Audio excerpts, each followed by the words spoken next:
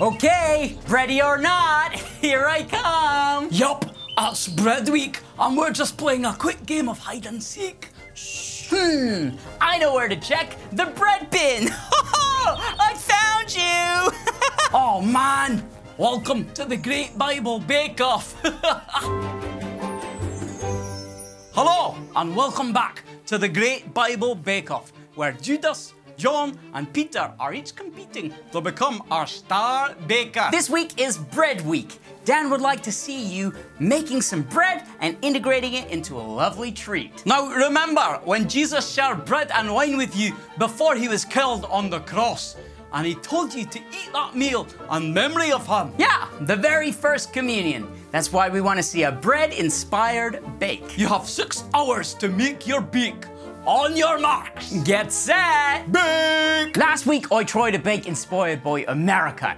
Now, I didn't win with that one, but it has inspired me and I'm continuing my around the world inspiration with an Australian themed bake. Peter, what are you gonna make for us? I'm gonna go for a bread-based treat that they have at Australian kids' birthday parties. It's called fairy bread. oh, that sounds fun. What will it be made of? So, I'll be making a fresh bread, and then you add butter, which of course I'll churn myself, right? Followed by a bunch of sprinkles on top. Oh, that's so cute! I don't think we realized at the time what the importance of this meal was. That it was the last meal we'd eat with Jesus before he was crucified. He was saying all these big things about us remembering him and how the wine that we drank represented his blood. I didn't know what that meant at the time, thought it was a bit weird. But when he was killed on that cross, it suddenly all made sense. I mean, who is this guy that knows the future? He must be the Savior. He must be the Lord. John, what are you going to be making? Yeah, I'm going for a British classic. It's the humble iced bun. Fantastic. What type of bread are you gonna make? Yeah, it's gonna be a bit of a brioche style roll. Delicious. It is a weird one to make because, it, well, it was a happy occasion, us all eating a meal together, but it had this sort of hint of sadness at the same time. And it's also happy because Jesus rose from the dead, and well, it's hard to know how to feel, really. Judas, what about you? Well, I'm going to make my signature bread. Well, great. I'd love to try it. Okay, so first step is the bread, of course, and it's currently, I've popped it in the proving drawer, right? And time is the name of the game here. The longer it can prove, the more the bread will rise, and the more evenly distributed the air pockets inside are. Softer, more delicious bread. Bread is actually really hard to make. I've just been kneading the dough, which is where you like push your fingers in there at your fists. And it actually reminds me of a joke. Why did the baker have brown hands? Because he needed a poo. needed a poo. He needed a poo. Needed a poo. Hmm. Of course I'm not worried about making bread. It's easy. Bakers, you have three minutes left. Three minutes to finish your bake. In other words, get your bread out of the oven quick. Right, let's have a look at how my roll turned out. Great, that's gone really well. Oh, it feels nice and soft. Right, it looks decent. I mean, it could be a bit better, but it's not burnt and it's not, well, it's not completely dry. Oh, right, yeah, I just brought a loaf of bread from the shop. That's fine though, right? I'm gonna butter it myself. this is such an easy task. Okay, my bread is really soft because I proved it for a long time, but now the price I pay is I need a really quick turnaround with this icing. So I've got water in a bowl. I'm gonna add some icing sugar uh, to make the icing for on top. I've got to get the consistency right. Not too runny, not too dry. Great, this is coming along well. This is coming along well. Right, quickly now then, butter the bread and then add sprinkles to the top.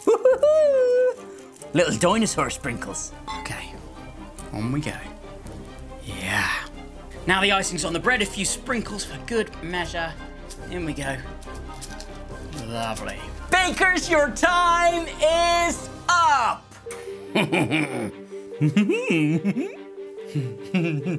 okay, Judas, you're first. May I present to you bread? okay, just bread and butter. That's a classic. Let me have a go. That's pretty average. And it's fairly dry. Could have used some more time in the proving drawer. But hey, good attempt, Judas. Dan, look what I found. It's a packet of bread from the shop in Judas's bin. What? So you cheated, Dan, and you didn't even buy nice bread from the shop. You did brown bread. That was your first mistake.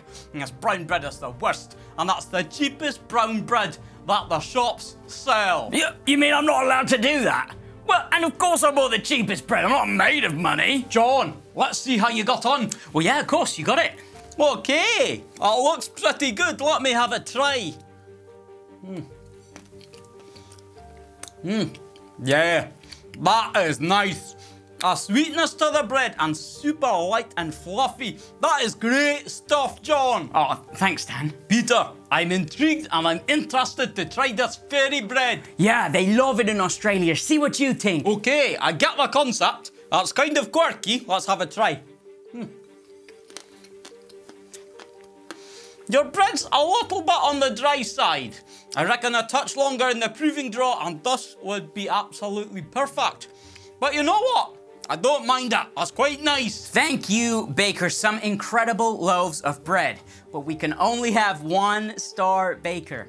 And this week, the star baker is... Oh, come on. Oh. It's John. Woohoo! Again, yeah! Yeah, I'm really happy with that. Peter is getting better and better every week. He hasn't burnt anything in ages. I'm really having to pull out all the stops just to beat him.